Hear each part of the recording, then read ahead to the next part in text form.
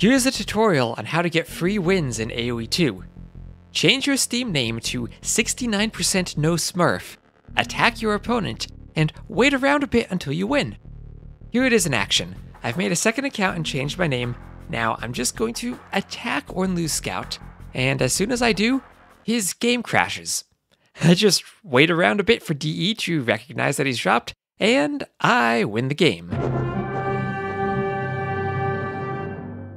So, this is clearly a bug, but what's going on here?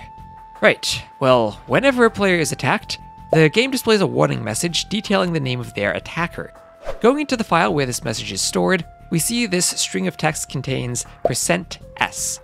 Using percent signs is a common way to perform special formatting in strings.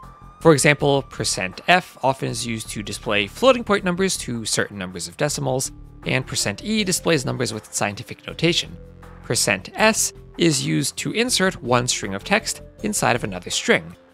I don't know exactly what's going on in DE's code, but somehow including the number percent %n sequence, not just in this string, but also in a Steam account name, results in the game's crashing when it attempts to perform this substitution and display the name in the attack notification. Even the simple name 1% %n would cause the crash.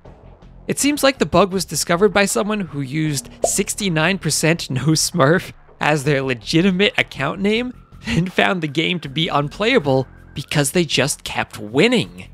While this bug is a fairly simple thing to fix, it unfortunately was discovered while the development studio was taking its holiday break, so it took a few weeks until it was patched. In the meantime, we released a mod to address the issue. Turns out removing the %s from the you are being attacked string is sufficient to avoid the name insertion causing the crash. Curiously enough, it only was the attack notification that was broken.